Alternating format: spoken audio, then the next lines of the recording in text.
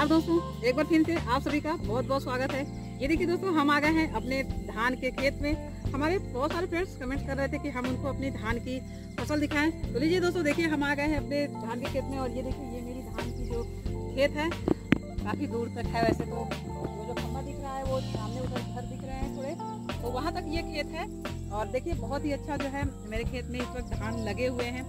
और ये जो लहलहाती फ़सलें धान की हैं, देखकर दिल को बहुत सुकून मिलता है, बहुत खुशी मिलती है। मुझे मेरी फ़सलों को देख के बहुत ज़्यादा खुशी होती है और एक किसान को सबसे ज़्यादा खुशी उसको अपनी लहलहाती फ़सलों को देख के होती है। मुझे हरियाली बहुत पसंद है, मुझे खेती बाड़ी और इस तरह से अपने हाथ से उगाए हुए फ़सल को देख के बहुत सुकून मिलता है।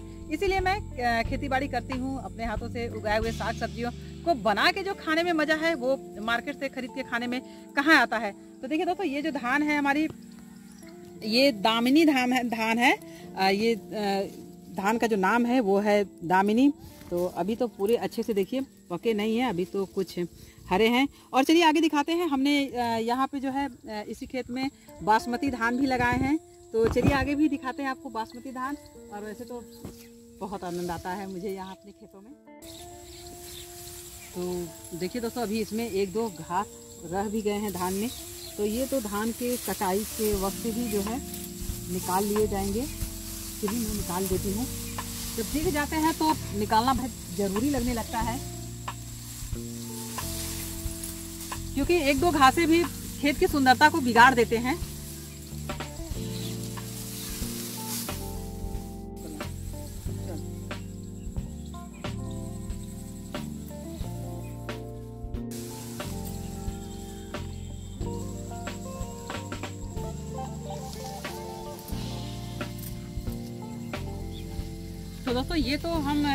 इसमें दामिनी धान धान लगाए गए हैं। हमारा जो ये क्षेत्र है, हम लोग का क्षेत्र है, यहाँ पे धान की फ़सलें बहुत कम होती है, धान क्योंकि धान को बहुत ज़्यादा पानी की आवश्यकता होती है तो जो हम लोग का एरिया है, यहाँ पानी की समस्याएँ होती हैं। हम लोग के यहाँ नहर वगैरह की सुविधा नहीं है, जो खेतों की सिंचाई होती है, वो समरसेबुल और मशीन से ही होती है। इसलिए बहुत वैरायटी की बहुत विधि, जो कि ज़्यादा पानी वाली जो धानें होती हैं, वो हमारे यहाँ नहीं लगाई जाती हैं। कम समय वाली धानें लगाई जाती हैं, क्योंकि बारिश भी बराबर नहीं होता है। तो ये जो धान है, ये इसकी पैदावार हम लोग के क्षेत्रों में अच्छी होती है। देखिए, आप तो देख के अंदाज़ा लगा सकते हैं इन बालियों को कि धान जो है अच्छा हुआ है। और इसमें थोड़े से हमने जो बासमती लगाए हैं, पहली बार लगाया गया है। तो चलिए दिखाते हैं उसकी खेती कैसी है।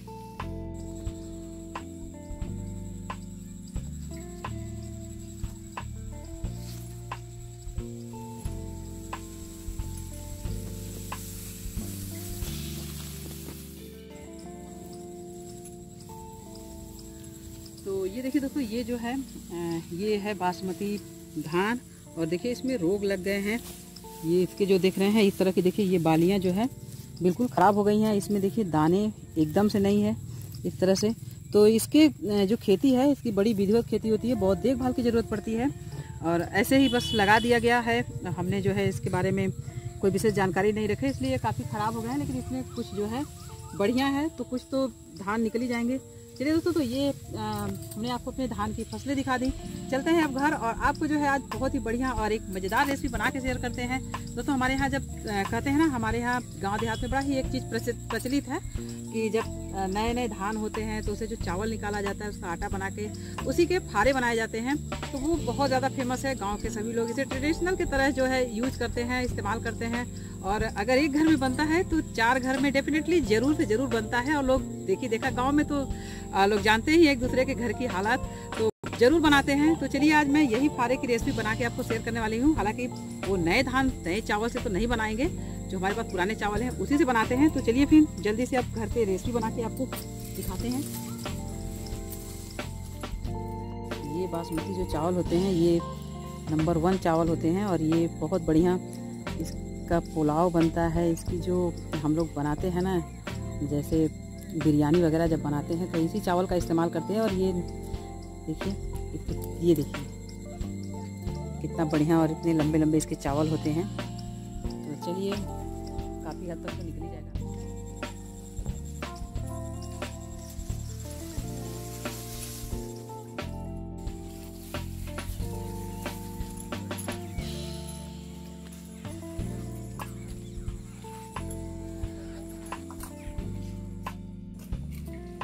तो चलिए दोस्तों, देखिए, खेतों में से तो हम आ गए हैं।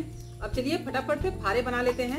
तो जो हम फारे बनाने वाले हैं, उसके लिए देखिए, ये हम उड़द की दाल लिए हैं और इसे देखिए, भिगो दिए थे हम दो तीन घंटे पहले ही।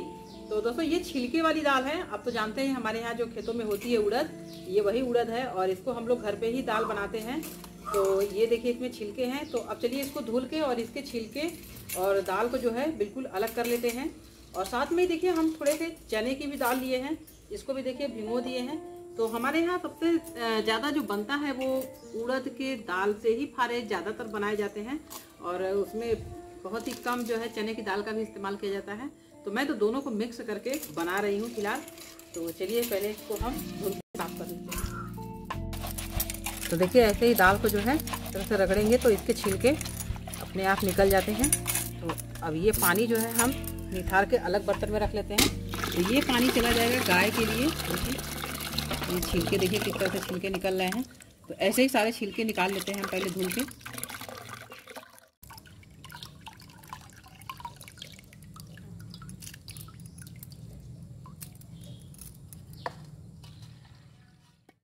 तो ये थाली में हम थोड़ा थोड़ा करके लेके इसको साफ़ कर रहे हैं। इसमें से ये छिलके तो काफ़ी साफ़ हो गए हैं। इसमें से ये जो एक एक ठो खड़े उड़द हैं ये जो दराई के वक्त जो है, छिटक जाते हैं, अक्सर साइड से जो निकल जाते हैं तो यही साबुत रह जाते हैं।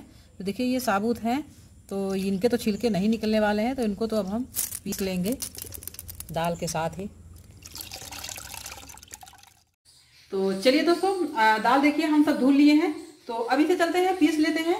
तो इसके पीसने के लिए हम ये मिक्सी जार लिए हैं। दोस्तों, इसे ना तो एकदम बारीक महीन पेस्ट बनानी है, और ना ही इसे बहुत मोटा दरदरा भी पीसना है। दरअसल गाँव देहात में हम लोग तो इसे ज़्यादातर सिलबट्टे पर पीस के बनाते हैं। तो सिलबट्टे पर पीसने से ये होता है कि ये ना तो एकदम बारीक महीन पेस्ट होता है और ना ही बहुत खड़ा रहता है।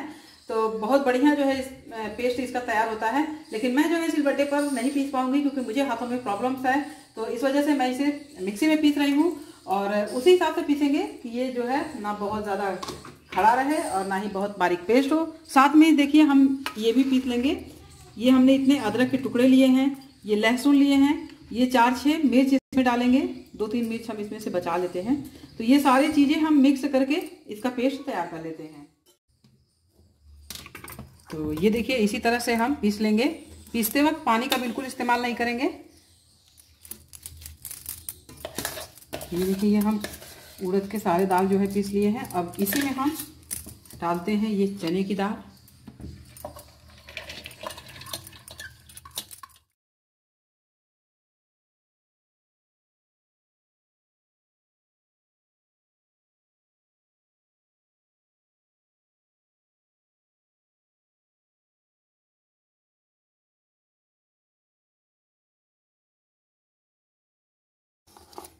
तो ये चने की दाल, अदरक, लहसुन और मिर्च भी पीस गया है। तो अब सबको हम यहाँ निकाल के इसको रखते हैं।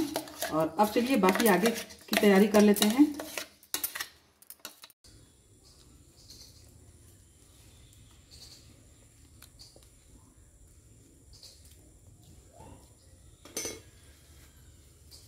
तो चलिए दोस्तों, आग देखिए, हम जला लिए हैं। और आज जो ये फारा हम बनाने वाले हैं, वो हम बनाएँगे इस लकड़ी के चूल्हे पे।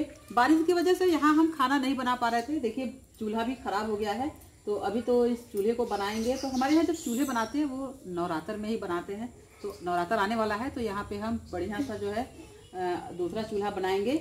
और मुझे चूल्हे पर का जो खाना है, वो बहुत ज़्यादा अच्छा लगता है। तो चलिए, आज तो मैं इस पर बना रही हूँ। तो पानी हमने रख दिया वहाँ उबलने के लिए। तो जब तक पानी में उबाल आ रहा है, तब तक मैं यहाँ ये जो पीठी हमने पीस के रखे हैं दाल को, इसमें कुछ मसाले मिला लेते हैं। आटे गूथ लेते हैं, सारी तैयारियाँ जल्दी जल्दी कर लेते हैं। तो सबसे पहले तो ये हम आटा गूथ लेते हैं। तो ये चावल का आटा है तो इसको हम गूथते हैं।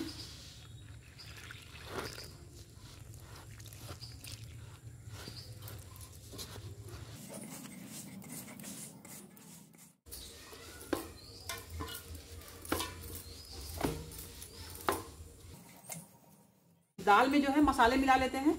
तो जब हम हम लोग फारे बनाते हैं तो इसमें बहुत ज़्यादा मसाले नहीं मिलाते हैं। इसमें केवल ये ही और फिर जीरा यही दोनों मिक्स करते हैं। तो ये हमने भुना हुआ जीरा ले लिए हैं और इसमें अब हम डाल देते हैं हींग। तो ये हम डाल दिए हींग। अब उसके बाद इसमें अब हम डालेंगे ये नमक, अदरक, लहसुन और मिर्च। तो हमने पहले ही दाल के साथ ही पीस लिए थे। तो हिंग जीरा मिक्स कर लिए हैं तो इसमें हम थोड़े से हल्दी भी डाल देते हैं कलर के लिए। तो ये हम हल्दी डाल दिए हैं। थोड़ी सी मसाला और डाल देते हैं। ये धनिया, आधी चम्मच के लगभग। बस, अब इन सबको भी मिक्स कर लेते हैं। थोड़ा टेस्ट और आ जाएगा डिफरेंट तो देखिए, फारा बनाने के लिए इस तरह से हम लोइयाँ लेंगे और उसको हाथ से ही थोड़ा सा फैला लेंगे। इस तरह से और फिर इसमें हम ये मसाले भरते जाएँगे। पानी में जो है उबाल आने लगा है तो बहुत जल्दी से अब हम बना के इसको डालते हैं। और एक ही साथ तो सब नहीं बन जाएगा और एक ही साथ डालते भी नहीं है तो थोड़ा थोड़ा हम जो है बना के डालते जाएँगे ताकि ये उसमें पानी में उबलते जाए।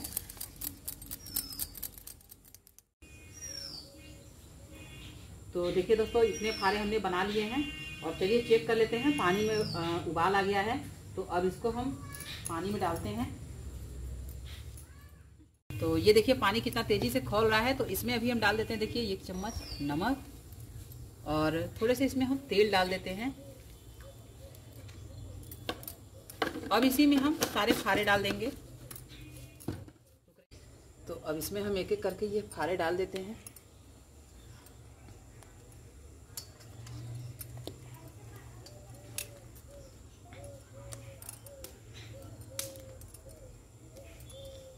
तो जब तक इसमें अभी उबाल आता है, तब तक हम दूसरा भी फारा बना के तैयार करते हैं। इस तरह से बारी बारी से जब हम इसमें फारे डालेंगे तो ये एक में चिपकेंगे नहीं और बड़े आसानी से अच्छे से पक जाएँगे।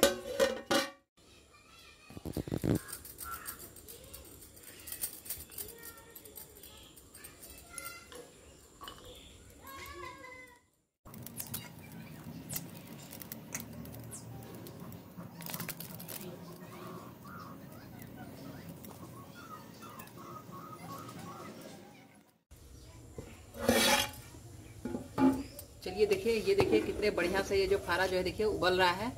तो इसमें जो हम हाँ बनाए हैं, इसको भी डाल देते हैं। तो इसी तरह से सारे फारे जो है बारी बारी से डाल के और कम से कम आधे घंटा इसे धीमी आँच पर पकाएँगे।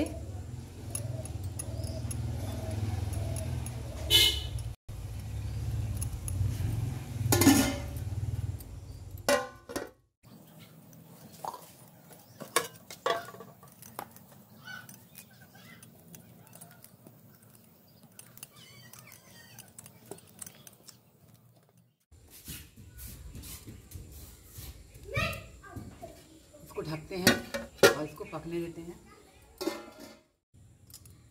तो देखिए दोस्तों, सारे फारे जो है हमने बना के और हम यहाँ देखिए सब भगोने में डाल दिए हैं। अब इसको ढक देते हैं और आँच एकदम धीमा लगाएँगे। धीमी आँच पर 20 मिनट तक इसको पकने देते हैं। तो जब तक हमारे इधर फारे पक रहे हैं, तब तक हम इधर सब्ज़ी भी बना लेते हैं। चलिए दोस्तों, देखिए फारा हमारा पक रहा है तो इधर हम सब्ज़ी बना लेते हैं। और इस खारे के साथ खाने के लिए सबसे अच्छा जो है सब्ज़ी जो है बहुत टेस्टी लगता है, वो है या तो गोभी टमाटर की हो या फिर सूरन की हो तो गोभी तो अभी नहीं तैयार है। सूरन की सब्ज़ी हम बना रहे हैं। तो चलिए जल्दी से अब हम सब्ज़ी भी बना लेते हैं।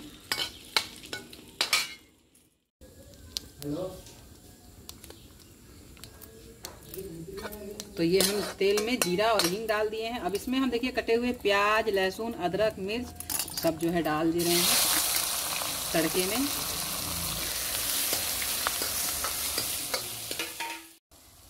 तो ये देखिए दोस्तों फारे को पकते हुए लगभग 15-20 मिनट हो गए हैं।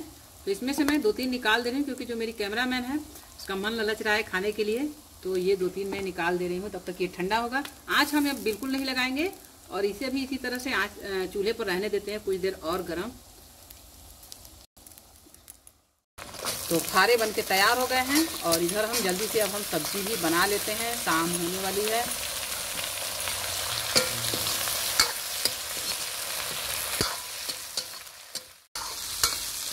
तो दोस्तों देखिए सब्ज़ी को पहले हम बढ़िया से भून लेंगे, उसके बाद इसमें मसाले और टमाटर वगैरह सब जो है डालेंगे। और यहाँ दोस्तों फारे तो हमारे बनके एकदम से तैयार हैं। हमने देखिए, ये जो निकाले हैं, ये बढ़िया से सीख गए हैं। ये देखिए ये देखिए कितने अच्छे से जो है सीख गए हैं। तो चलिए दोस्तों, उम्मीद है आपको जो है आज की ये हमारे फारे की रेसिपी ज़रूर पसंद आई होगी। अभी तो दोस्तों देखिए, इसे दो तरीके से खा सकते हैं। एक तो हम इसे इसी तरह से जो है खा सकते हैं और दूसरा अभी इसे देखिए, इस तरह से जब ये थोड़ा ठंडा हो जाएगा तो इसे दो तीन पीस करेंगे और फिर इसे कढ़ाई में तेल डाल के हल्का सा इसे भून लेंगे। तो इसका स्वाद भी बहुत बढ़िया आता है, क्योंकि जो इसके माड़ वगैरह है, वो अच्छे से सूख जाते हैं तो वो और भी टेस्टी लगता है। तो चलिए दोस्तों, अब आप भी जो है बना के ज़रूर ट्राई कीजिए और हमें कमेंट करके बताइए कि हमने ये रेसिपी कैसी बनाई और आज का वीडियो कैसा आज का वीडियो कैसा लगा। और वीडियो पसंद आई हो तो इसे लाइक कीजिए, अपने दोस्तों में ज़्यादा से ज़्यादा शेयर कीजिए और चैनल को सब्सक्राइब करना ना भूलिए। और हाँ दोस्तों मेरे सब्सक्राइबर नहीं बढ़ रहे हैं तो प्लीज़ आप लोग ज़रूर हेल्प कीजिए और मेरे चैनल को ज़रूर से ज़रूर शेयर कीजिए ताकि मेरे सब्सक्राइबर बढ़ें। थैंक यू सो मच मिलते हैं आपसे फिर अगले वीडियो में